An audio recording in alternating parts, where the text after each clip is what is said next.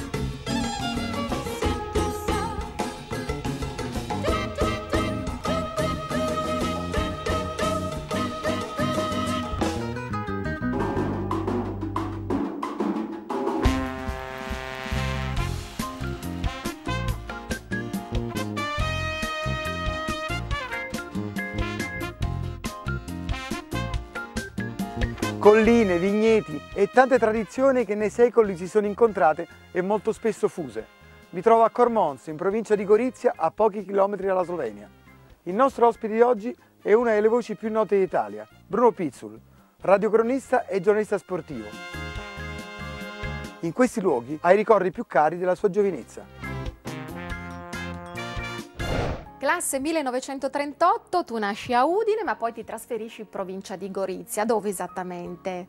Mi trasferisco a Cormons, che è un uh, paesotto a metà strada praticamente fra Udine e Gorizia, in provincia però di Gorizia. Lì sono cresciuto fino a, fino a 17 anni, sono rimasto sempre lì e poi sono andato in giro un po' a fare lo zingaro. Cormons, luogo del cuore, luogo quindi hai detto della tua infanzia. Che ricordi hai di quel periodo? Ma sai, sono ricordi che spesso così si sfumano, no? Anche perché ho vissuto da bambino, poco più che bambino, anche il periodo dell'immediato dopoguerra che è stato abbastanza travagliato, lì c'era stato il periodo dell'occupazione delle truppe titine. Poi la situazione si è normalizzata e ho i ricordi tipici di tutti i ragazzi, no? i giochi con i compagni, i problemi a scuola, i rapporti con i genitori che erano adorabili ma completamente diversi. La mamma era molto precisa, voleva che fossi bravo a scuola, che mi vestissi sempre bene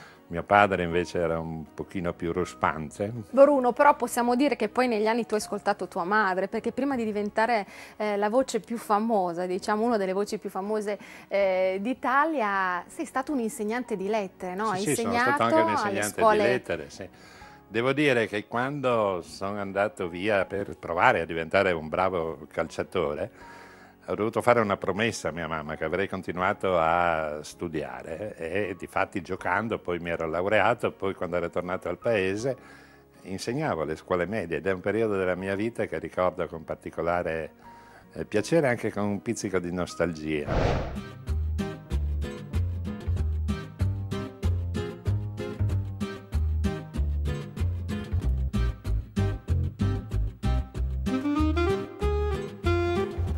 La storia di Cormons è legata a molte culture che qui sono incontrate e i segni sono tangibili. Qui abbiamo Nino Panzera, storico. Ciao Nino. Ciao, ciao Fabrizio. Come mai hai voluto cominciare questo percorso per farmi conoscere Cormons proprio qui da questo monumento? Ma innanzitutto perché questa è la piazza che è il cuore pulsante della vita cittadina e poi perché c'è questo bellissimo monumento che è dedicato all'imperatore Massimiliano I d'Austria davanti a questa bella chiesa eh, barocca eh, che è un monumento che significa tanto per noi cormonesi, perché significa l'appartenenza per tantissimi anni a una grande eh, eh, diciamo, realtà amministrativa, quella era l'impero d'Austria. Qua si incontravano la cultura tedesca, la cultura slovena, la cultura friulana e da questo ne abbiamo tratto eh, un grandissimo bagaglio culturale che tuttora oggi ancora eh, ci porta e ci spinge ad andare avanti con la nostra identità. Mi porti a fare un giro? Andiamo.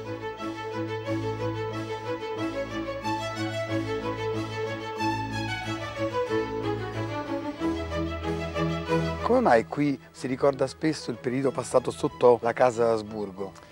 Beh, 400 anni di storia non sono facili da dimenticare. Cormonse Nel 1497 passò sotto l'Austria perché Massimiliano fece delle permote con Cormons e altri castelli. Era un periodo in cui la gente percepiva la certezza, la certezza della vita amministrativa, la certezza della vita economica e anche della vita sociale. Cormons per secoli è stato luogo strategico di molte potenze e anche luogo di confine, ma chi c'è passato? Beh, Cormos, come tutte le terre di confine, ha visto passare tutti. Immaginate una scuola elementare in cui c'è il ritratto dell'imperatore o del re o del presidente in una scuola normalmente. Bene, abbiamo iniziato il secolo col ritratto dell'imperatore d'Austria. Nel 1915 abbiamo messo il ritratto del re, perché è italiano, Vittorio Emanuele III, poi di nuovo l'imperatore d'Austria dopo Caporetto 17, poi nel 18 di nuovo il re, nel 22 Mussolini.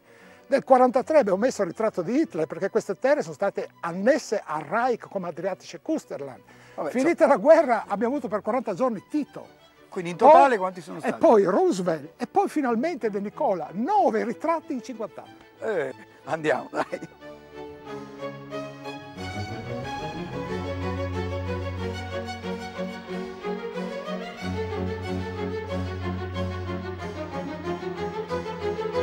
Siamo arrivati in un luogo molto caro agli abitanti di Cormonza e non solo. Ma qual è la storia di questa chiesa? Ma la storia di questa chiesa è dovuta a un fatto miracoloso di un Cristo, di un crocifisso che grondava sangue nel 1597 e da questo subito i cormonesi si sobbarcarono la spesa e fecero costruire questa chiesa a ricordo del miracolo. Che cosa rappresenta oggi? Ma rappresenta il punto di incontro di due comunità, quella comunità friulana e la comunità slovena, il punto di incontro di un'armonia di due comunità, di un'unica cultura che si esprime in due lingue. Mi pare che tanti anni fa si è sposato anche Bruno Pizzolo. E tanti si sposano qua, anche Bruno Pizzolo si è sposato qui, sì. Tu lo conosci? Sì, lo conosco, tutti a Cormosa conosco. Bruno Pizzolo è diventato un nostro eroe nazionale, soprattutto è conosciuto in tutta Italia, ma a Cormos quando viene lo troviamo sempre nei bar, nelle osterie, stiamo sempre con lui a chiacchierare e a raccontare raccontarci le storie. Grazie Nino, sei Grazie stato fantastico. Da anni hai lasciato la tua terra trasferendoti a Milano, lì però c'è ancora qualche amico di vecchia data che possiamo incontrare. Ma sì, sai, di amici ce ne sono tantissimi, anche perché pur essendo io ormai da tanti anni trasmigrato a Milano, ho, continuo a fare delle puntate a Cormons dove ho anche una casa, quindi con mia moglie prima o dopo ci torneremo, no? E poi ho molti amici, soprattutto tra quelli che da ragazzini giocavamo assieme a calcio e quando ci incontriamo, sai, si parla nella di quelle... Cormonese. Ha cominciato nella Cormonese, ma quando si parla di quel periodo lì, ma quali finali del campionato del mondo, sai, quando giocavamo Cormonese contro, eh, che so io, San Giorgina o Itala Gradisca o cosa, quelle erano partite vere.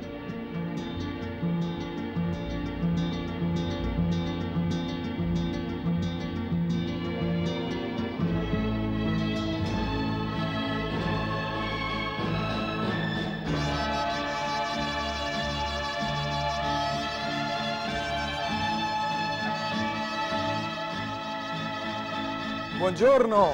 A me sembra che qui a Cormonz vi conoscete un po' tutti. Ma lo conoscete Bruno Pizzul? Eh, abbastanza. Quando viene qui giochiamo a carte assieme. E Bruno Pizzul è bravo a giocare? Madonna, è nato con le carte in mano. Eh, quindi è uno bravo. Molto bravo, sì. E senti, ma che cosa mi puoi raccontare Bruno Pizzul? Quando giocate? Ah, le volte che giocava a carte, giocava anche a biliardo bene. Non è troppo alto per giocare a biliardo? Oh, anzi, anzi. No, domina, domina, no? Ah, domina con, con, con la, sì, sì, con la sempre, stecca? Sempre, giocato bene. Gioca a coppa e bastone. Coppa e va bene. Scusa, ma devo vincere questa, eh? Ah, devi vincere? Eh, sì, no? E tu che cosa mi puoi raccontare di, di Bruno? Dai, Intanto Bruno abitava qui vicino. Si ah, giocava al, al, calcio con... con, eh, perché Bruno è stato, oltre che un telecronista, anche un calciatore sì, esatto, di buon livello. È andato al Catania anche, sì. e poi, anche tu giochi a calcio? Sì, dovevo andare a Catania con lui anche. Poi mio padre Niente, fino a 21 anni non si va fuori di casa, ah. Coppe. Sei rimasto qui. Sì. Possiamo dire che una persona Bravo, semplice molto, è rimasta... Molto la mano. Eh, molto la mano, è rimasto sì. semplice, va bene? Sì, Vabbè, io me ne vado. Chi sta vincendo, scusate? 2 a 2 siamo. Ah, 2 a 2, siete pareggiati. Posso andare? Buona partita, arrivederci, ne vado, ciao! Bruno, allora tornando a Cormons, quali sono i posti che dobbiamo vedere a tutti i costi? Ma sai, sono i luoghi, i luoghi dell'infanzia, no? Eh, Cormons poi è un paese adagiato ai piedi di un colle che un po' pomposamente noi chiamiamo monte, in realtà è poco più di una collina, il Monte Quarin eh, e quello era il teatro delle nostre scorribande infantili. Tutti in giro poi l'intero territorio, non soltanto del eh, paese di Cormons ma anche della zona del Coglio che è particolarmente amena e piacevole. Fra l'altro sul Monte Quarin ci sono i resti di un eh, castello che una volta era la, la sede proprio del patriarcato sì, di Aquileia, quindi possiamo dire che Cormons vanta un importante sì, per un certo storico. periodo mm, i patriarchi di Aquileia si fermarono anche a Cormons e lì c'era questo castello che poi essendo stato al centro di un'infinità di guerre fra gli Asburgo, gli imperiali e la Serenissima Venezia, all'inizio del Cinquecento fecero un accordo di distruggerlo. Distruggiamolo così non eh, litighiamo più. Adesso sono rimasti soltanto i ruderi di questo castello, il Torione, che però ha avuto una storia molto molto intensa e ci si va ancora su a trovarlo.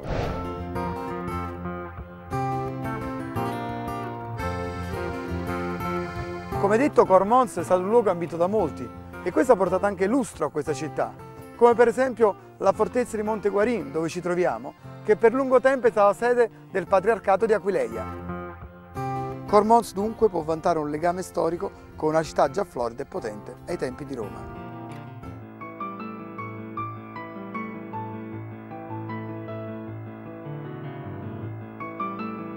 Aquileia venne fondata nel 181 a.C. innanzitutto come avamposto militare nell'Italia nord-orientale, allora territorio gallico. In epoca imperiale crebbe sempre il ruolo e l'importanza di Aquileia, che giunse ad essere una delle dieci più importanti città dell'impero. Ci troviamo qui nel foro di Aquileia, che costituiva il centro della vita pubblica della colonia e poi del municipio. Lungo tre lati la piazza del foro era circondata da un portico, al di sotto del quale si trovavano le botteghe dove si svolgeva il commercio al minuto.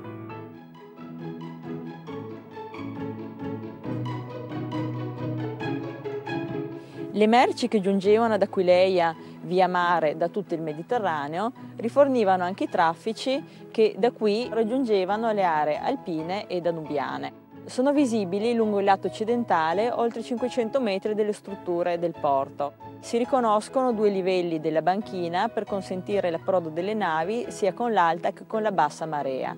Da qui poi si dipartivano delle rampe e delle scalinate che portavano ai retrostanti magazzini e botteghe.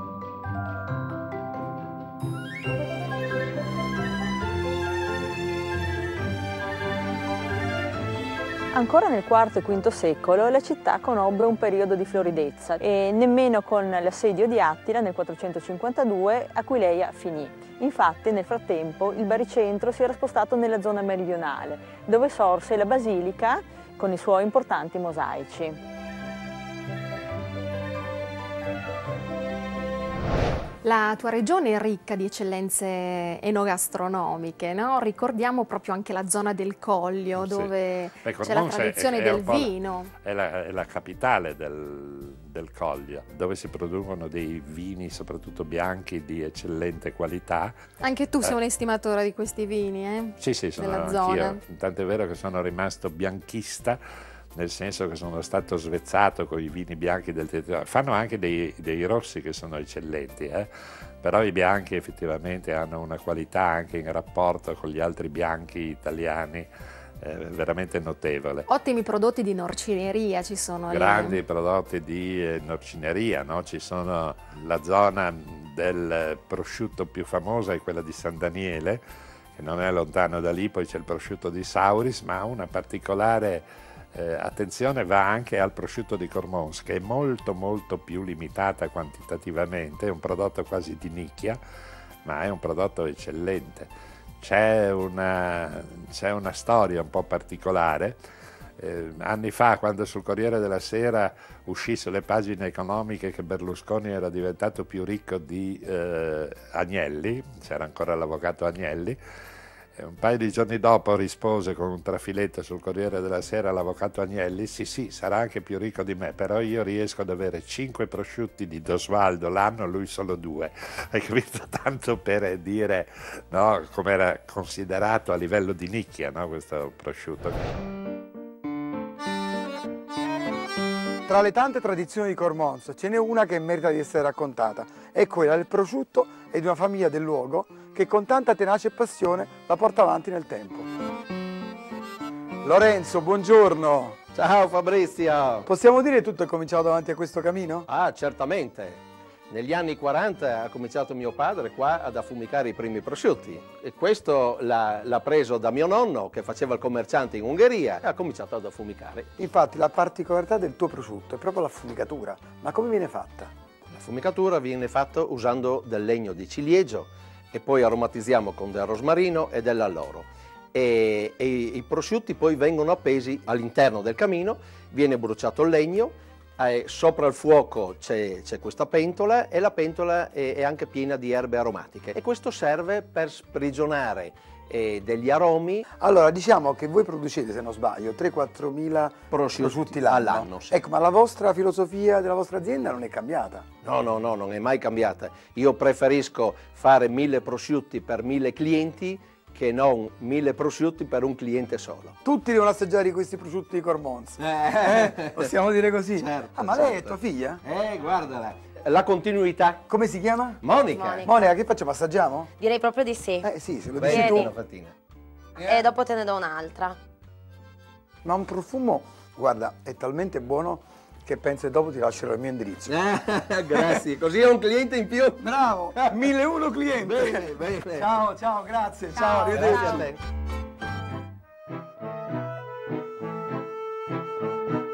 Ho appena finito di assaggiare un fantastico prosciutto di Cormons. Elena, ma qua si producono degli ottimi vini, ma sono migliori i bianchi o i rossi?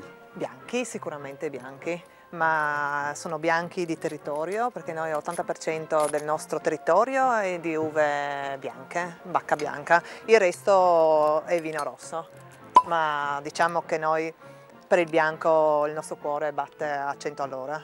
Senti, ci sono tanti produttori di vino in questa zona, no? Sì, sono tantissimi. Eh, ci sono tantissimi produttori di vino e sono tutti produttori piccoli, da famiglie eh, che gestiscono l'azienda in toto, per cui sono tutti a lavorare nelle proprie aziende e producono sia vino che hanno anche delle bellissime stanze. Che tipo di vino si produce?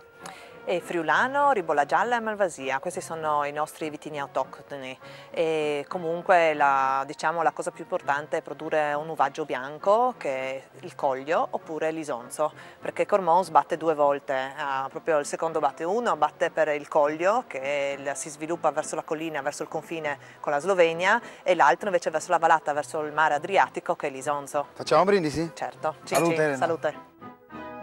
Bruno, ci hai parlato di vino, ci hai parlato di prosciutto, il tuo piatto preferito però? Beh, io sono di gusti molto molto eh, popolari. Se è fatta bene una buona pasta ai fagioli, eh, io non dico che la preferisco a tutto il resto.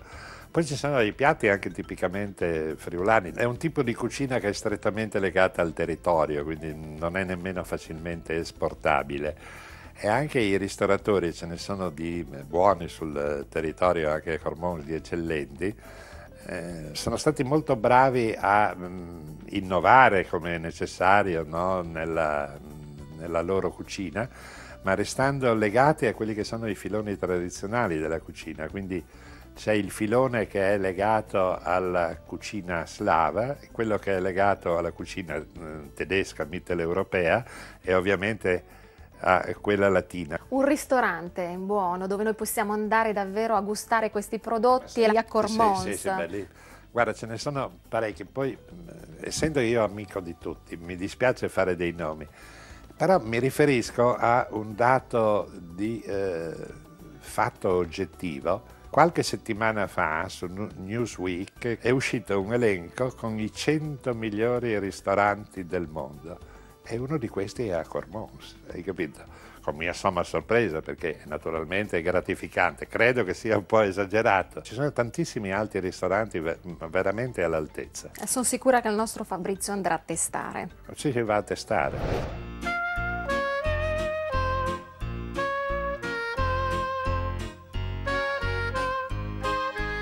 Nel nostro viaggio abbiamo parlato di un costante incontro tra culture diverse. Iosco, immagino che questo abbia condizionato anche la cucina del vostro territorio. Non solo culture, ma anche genti diverse, popoli diverse. Qui l'Austria ha regnato 400 anni e ha lasciato una grande tradizione, ma la cosa più importante è che su queste colline corre una linea microclimatica, per cui fino qui c'è il Mediterraneo, con l'ulivo, con la vite, con il fico, con il melograno, da lì in poi è finita. Vieni, Alessandro ci ha preparato un paio di questi piatti. Alessandro, vedo un trionfo di piatti, l'uno diverso dall'altro, con culture assolutamente differenti. Sì, perché noi qua siamo in un paese di confine, Eh, eravamo sì. sotto l'impero austro-ungarico fino alla prima guerra mondiale, dunque anche i piatti rispecchiano eh, la gente che è passata di qua. Cominciamo da questi pasta e fagioli? No, questa è orzo e fagioli. Ah, orzo e in Friuli fagioli. si usava l'orzo, la pasta si è conosciuta poco negli ultimi anni. E dunque è, è proprio una minestra tradizionale friulana questa, orzo e fagioli classica. Questo piatto l'hai mangiato tante volte, Yosha. Questo era, la pasta è arrivata molto tardi in Friuli e quindi la minestra era il piatto del mezzogiorno. Eh, però mi sembra bello ricco, bello interessante. Questo vedo delle salsicce? Sì, no, queste sono brovade musette, è una specie di cotechino, anzi è uguale al cotechino, solo che si usava a fare solo con la parte del muso, del maiale, con Ah, la ecco. potica del muso. Allora da questo, da questo musette. Musette. La brovada non è altro che, che sono queste rape stufate in, in- in padella e il cotechino bollito. Alessandro, questo è salame però. Sì, questo è salame, è salame fresco, scottato in padella con una, con una noce di burro e poi sfumato con l'aceto. Di necessità virtù. Perché? Perché una volta non si riteneva sano mangiare gli insaccati prima di una, certo- di una certa maturità. Di solito il salame se lo si mangiava per San Giuseppe, che è il 19 di marzo. Se nel frattempo qualche salame cadeva per terra o qualche topolino si avvicinava e così, ovviamente non lo si buttava via. Quindi lo si scottava, lo si cuoceva per renderlo sano. Quindi Ma cuocendolo diventava molto grasso e allora molto aceto, perché l'aceto è l'antitesi del grasso. Questo è. Quindi prima del ragione. 19 marzo non si mangiava il, Il salame, salame crudo. crudo. Ok, Dopo il 19 marzo salame Sì. a go-go. A go-go. E questo è cos'è? Questo è il filetto di cervo con la salsa di mirtilli. È una cosa che nel mondo austro-ungarico si usava già nel Medioevo. Non si sapeva all'inizio il perché. Oggi si sa che i frutti rossi aiutano la digestione Ed delle vero? pesanti. Ed è vero, ed è vero. E allora concludiamo questo, questo racconto di questi bellissimi piatti col dolce. Sì, il dolce è il presnitz, eh, sarebbe la gubana. Come- come si chiama? Presnitz. Ah. Sarebbe la gubana goriziana. Questo è austriaco, però. Sì, è di, è di origine austriaca. In tutto, in tutto l'arco eh, del- de- orientale del Friuli si fa questo dolce, solo che nel- nel- nella zona di Cividale, nelle valli, si usa la pasta lievitata al posto che la pasta sfoglia. Ma il ripieno è sempre frutta secca, miele, un po' di, di uno cacao. ancora, Sì, più, ancora più pesante. più pesante. Allora, poi abbiamo invece la ricetta di oggi. Questo piatto qui, che è un primo piatto. che è un primo piatto, sono gli gnocchi con le susine. Questo è proprio l'espressione della mitteleuropea, no? il, il piatto che gli austriaci mangiano come dolce, gli italiani mangiano come primo. La ricetta. La ricetta non è altro che un impasto eh, di, di- di patata come per fare i gnocchi, viene ripieno con una frutta tagliata a pezzi appena appena scottata e viene condito con del pane tostato, un po' di burro, zucchero e cannella. Grazie Alessandro, grazie Iosco. Diciamo che Bruno Pizzo ha proprio ragione. I piatti di questi luoghi sono tutti squisiti. Quando torni lì, Bruno, come ti accolgono i cormonesi? No, no, no, ma in modo molto, molto eh, tranquillo e restino. Continuano a considerarmi quello che mi hanno sempre considerato, assolutamente senza nessun tipo di osanna e via, per l'amor del cielo. E cosa pensi dicano i cormonesi di Bruno Pizzul? Ma niente, non è che abbiano mai, sai, vissuto con eccessivo trasporto e entusiasmo. No, te l'ho chiesto perché in Dimmi. realtà noi siamo andati a curiosare tra i cormonesi Sì, che sì. cosa ne pensano Sì. di Bruno Pizzul. Eh. eh. Ah, siete già andati? Siamo già andati, vuoi vedere? Eh, fammi vedere. Pizzul, forse non tutti sanno, ma è una persona che è disponibile a sostenere il volontariato e la solidarietà. Umanità, simpatia, umiltà, queste le doti maggiori di Bruno, un esempio per tutti. Un vero sportivo, quando è a Cormons è sempre in bicicletta. Con una voce così non poteva fare altro nella vita.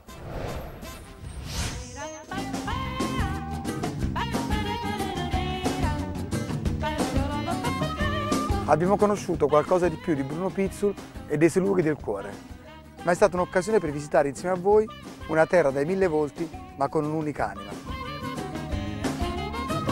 E adesso vediamo come la nostra pittrice Manuela Sain ha ritratto Bruno Pizzi. Volete sapere come continua il viaggio in Mixtalia? E allora ci vediamo domenica prossima, sempre su Rai 1. Ciao!